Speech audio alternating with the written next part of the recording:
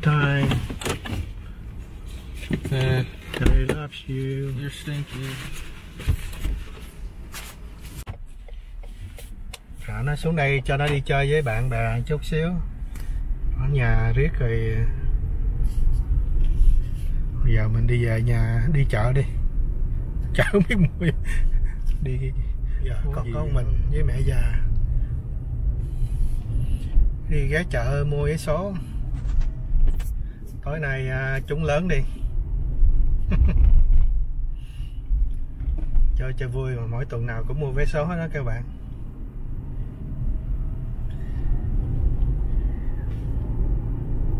Trúng cho vui mình à, xém trúng được một lần được à, giải thứ nhì.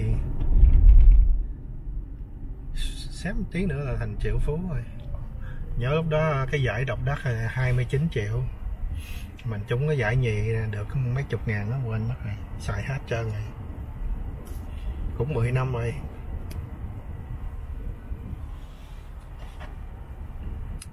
Đóng thuế còn có ờ, chừng 10 ngàn. 10 ngàn cái mua cái computer mua cái ờ, này mua nọ dẫn con đi chơi cũng riết cũng hết luôn. Mà vui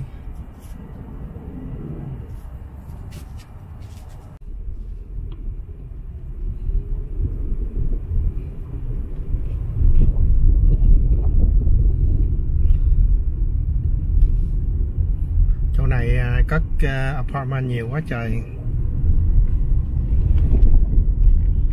Xe này.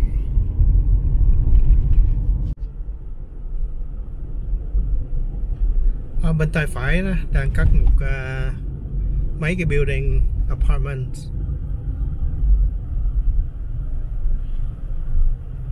bên uh, tay trái là cái trạm xe lửa BART mà không biết chừng nào nó mới mở cửa nó cắt cỡ 5 năm rồi.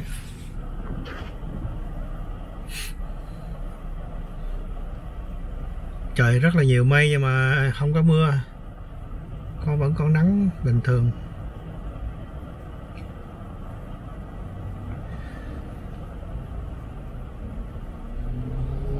Bên tay trái mình à, là cái cái đường rầy xe điện nó chạy đó.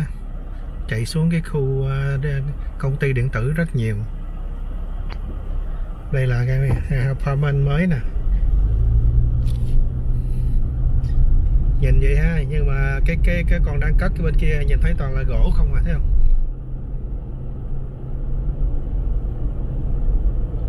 Ở chính giữa nó làm bằng sắt xong rồi ở ngoài cái toàn là gỗ không à. Cái sườn đó nó làm bằng à, sắt xong rồi chung quanh là gỗ không? Cây không?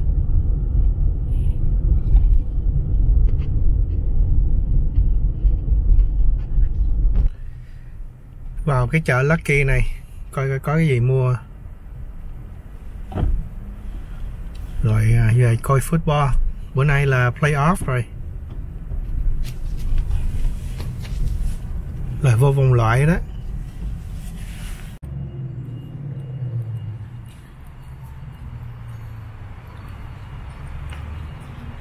Chợ này gọi là Lucky, là chợ hên. Mua vé số hên.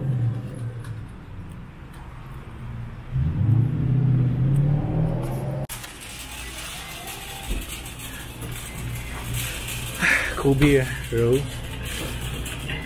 Khu này khoái.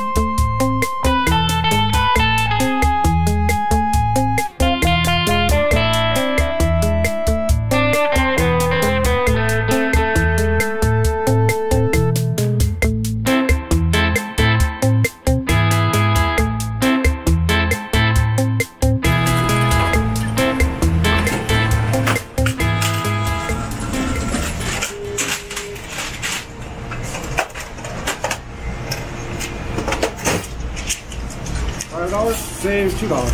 thank you.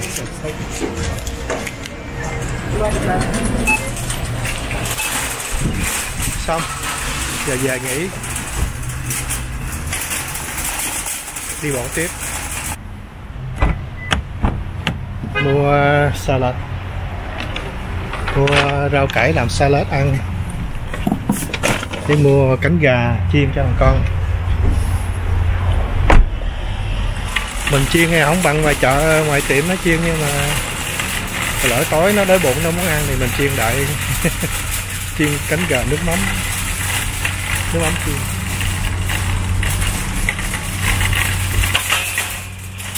Ok, giờ rảnh rỗi, không biết làm gì nữa. Ngay góc chợ có một cái quán à, phở đào. Thơm phức luôn. Mình à, cố gắng à, cử ăn phở thời gian. Tại phở gà thì ok mà cũng còn bị cái tinh bột cho nên lâu lâu ăn thôi. Yep. phở rất là thịnh hành ở cái khu này. Sao xe này bây giờ ở đâu cũng có phở hết hồi xưa muốn ăn phở phải xuống dưới downtown San Jose mới có tiệm phở. Đó, hồi thời à, 79 80 bây giờ quá chừng. Dạ nhớ hồi đó cuối tuần như vậy nè cái bạn bè rủ nhau lên San Francisco vô Chinatown mới được ăn mì. Rồi à, trước khi về thì thường mua hai con vịt vịt quay. Chứ mua bánh mì rồi hay là à, về ăn cơm cũng được. Nghĩa là về tới nhà tối rồi bắt đầu cứ chặt dịch ra rồi hâm lại là ăn ngon lành luôn.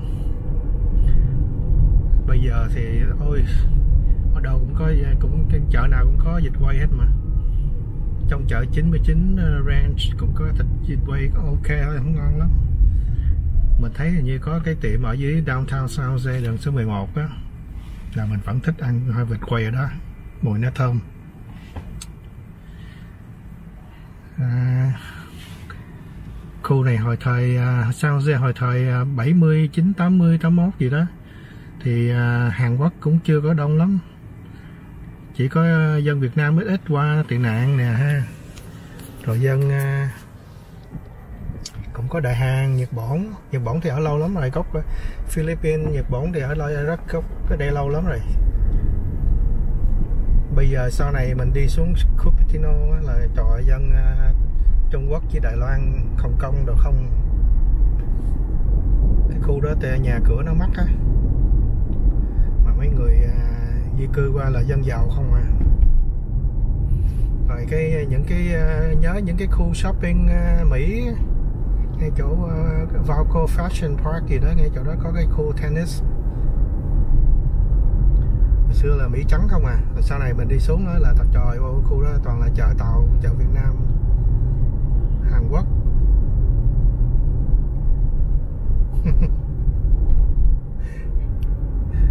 Di cư qua đây nhiều quá. Trời nhìn à, mưa nổi không các bạn? Mình mới ăn xong cho nên uh,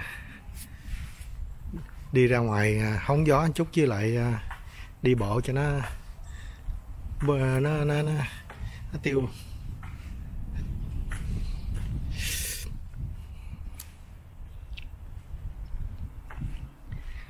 Trời chuyển mưa quá trời.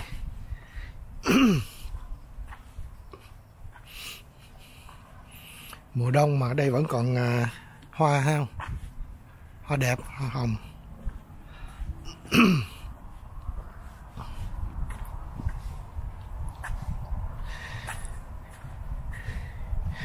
Đang coi football mà thấy chán quá.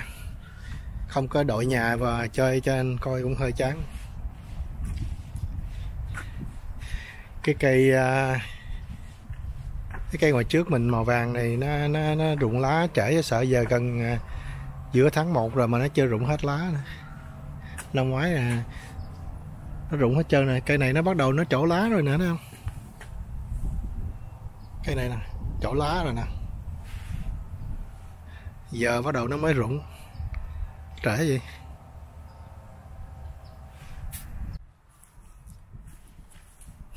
giờ mình đi bộ đây.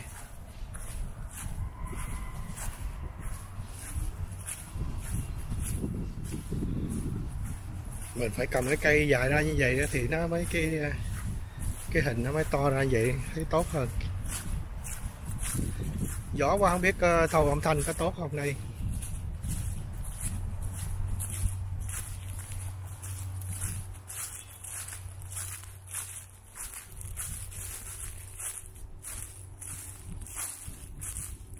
Mình nhớ mấy con uh, cà lôi. Mấy này nó biết cho đâu mất tiêu.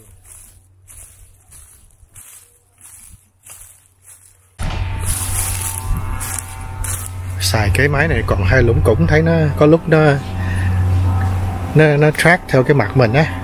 Nó theo dõi ở lúc này nó đi nó đi nó ngó ngó đầu lẳng lơ ngó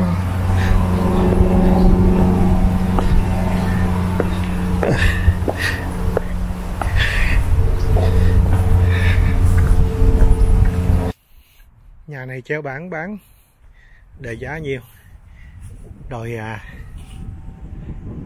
658 ngàn. Mà nhà này chỉ có có có có hai cái bedroom mà là cái nhà nhỏ ngay góc nè.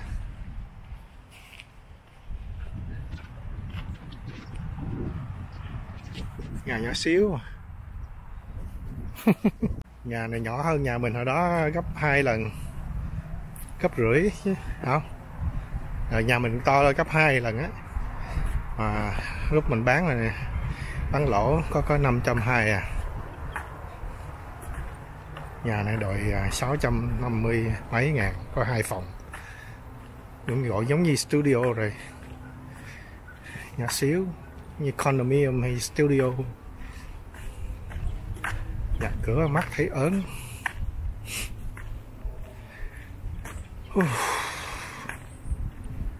không, chắc không, mình không bao giờ mua lại nhà được nữa rồi. Không mà mình lúc mình bán cái nhà đó mình cũng biết như vậy rồi. Có thêm một cái nhà nó gọi là open house nè.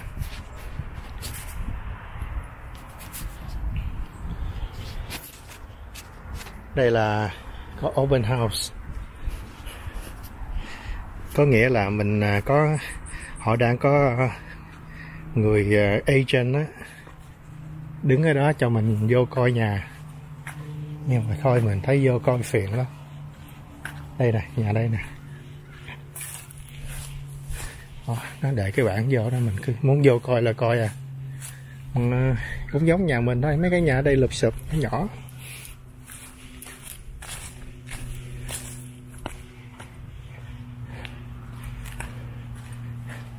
Nhà hiện tại mình đang ở là không có phải của mình.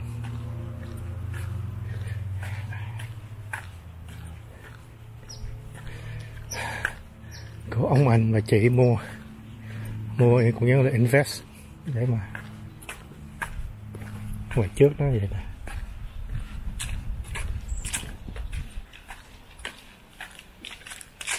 Nhà này không để giá chỉ để vô coi để chắc mình nói chuyện với cái người agent luôn á. Đây nè. Mà thôi, mất công vô, nó hỏi phiền phức mình, không có mua.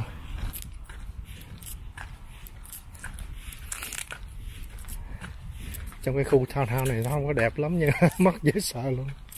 Nhiều cái townhouse ở đây nó rất là đẹp, chắc trên townhouse này thì bình thường chỉ có cái cái home association nó giữ thì thấy sạch sẽ lắm. Tốt. Còn mấy cái kiểu nhà này nó cũ quá đây. Hồi lúc mình à, đang có đi việc làm tốt, mua nhà. Mình không bao giờ mình nghĩ tới chuyện mua mấy cái nhà ở townhouse. Thích cái single house ở ngoài á.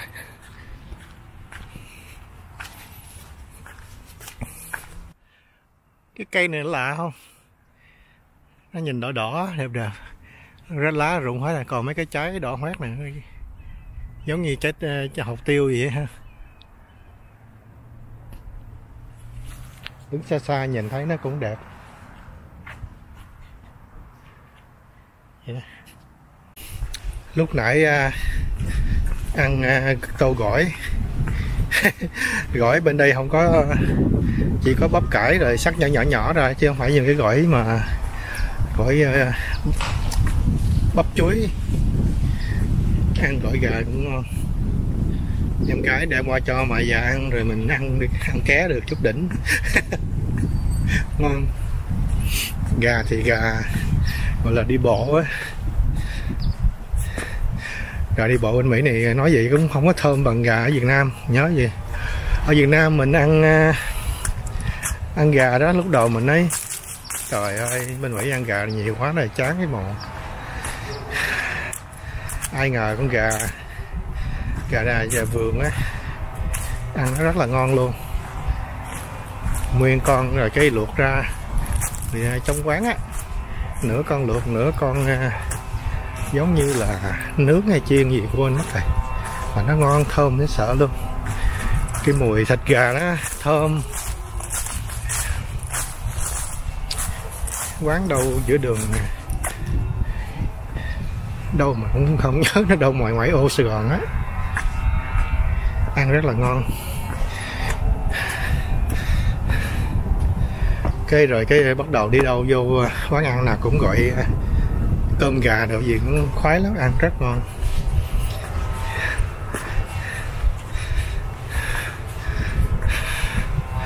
Cái món thịt nướng ở Việt Nam á, đi ngoài đường à, ví dụ như đi Vũng Tàu chơi hay là Nha Trang cứ đi dọc đường là cái mùi thịt nướng thơm bay.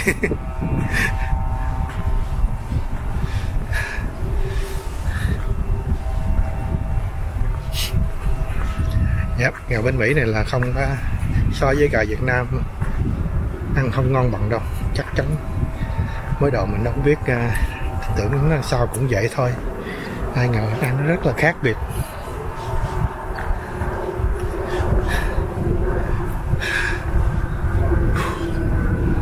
ok đi. Đi cho nó teo bớt á. Có gì vui lên nói chuyện tiếp nha. Bye bye.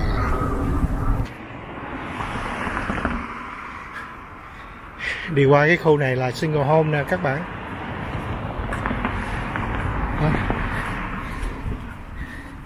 Cái kiểu này à, nhà trệt, không có lâu nhưng mà có từ à, 3 phòng 4 phòng, tùy. Ít ít hiếm là có 5 phòng đó. 5 phòng là phải cất ra thêm rồi. Chứ còn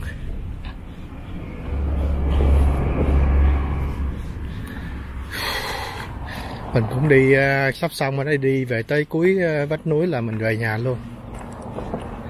Hôm nay hồi sáng mình đã đi bộ rồi cái mình uh, upload lên luôn cái clip đó. Bây giờ đi bộ lại là phần 2 vừa đi vừa tám phần 2 ở cái cây sáng mình nói cây trên núi đó, giống cái cây bonsai đẹp này.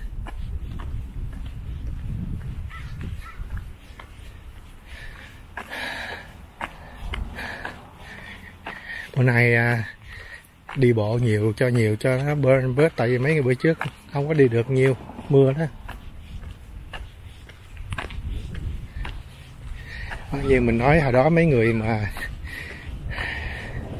khoảng hai chục năm về trước họ mua nhà ở đây bắt đầu đi làm chót mà không có bị lấy ót hay bị gì vẫn vàng thì đến bây giờ cái nhà nó tăng giá lên.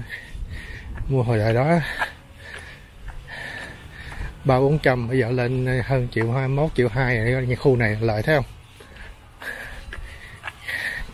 Chỉ có nhà cửa ở đây nó mới lên giá này, còn mua xe là bắt đầu bước ra khỏi cái cái cái chỗ bán xe là bắt đầu xe nó bắt đầu nó rớt giá trị rồi.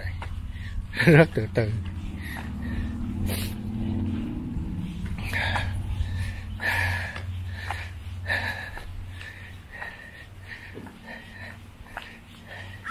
Thế mình cũng thích mấy cái nhà góc ngay cái góc như vậy nè gọi là corner house đó. thì à, cái khu này không có bị người ta thải đồ bậy bạ nhưng mà cái hồi đó mình ở cái khu trước nhà mình hay bị cái cô hàng xóm bên kia chuyên môn quăng đồ cũ cái thảy ra trước nhà mình không à lúc mình ngủ á lúc mình bắt được mình la chửi ông sừng ra gây lộn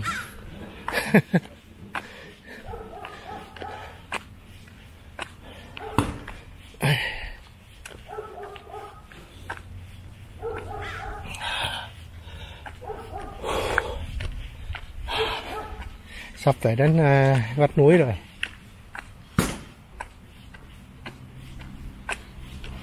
Mùa đông năm nay không có lạnh lắm. Mình nhớ có ngày lạnh nhất thì xuống tới 39 độ F. Có nhớ nhiều năm trước nó xuống tới à, 32 nghĩa là à, zero độ của C đó năm nay không xuống tới đó. Bây giờ thấy ấm rồi. Nghĩ chắc hết mùa đông rồi lẽ bây giờ. Ok. Thôi mình xin tạm ngừng ở đây các bạn ơi. Ráng đi với cái chân này thấy nó mỏi muốn rụng luôn. À, đủ rồi. Cố gắng lắm rồi đó thôi, giờ giờ giờ tới khu nhà mình rồi cây cây cây này không biết cái tên gì nhưng mà nó cái trái đỏ. Lúc trước mấy con gà lôi nó thích đến, nó ăn lắm mà hôm nay thấy ok, các bạn ơi, mình sẽ kết thúc cái video ngắn này qua đây. Mình upload coi như phần 2 cô đi bộ của này. Hy vọng ngày mai có gì vui vẻ chia sẻ với các bạn nha. Xin chào, chúc các bạn cuối tuần vui vẻ.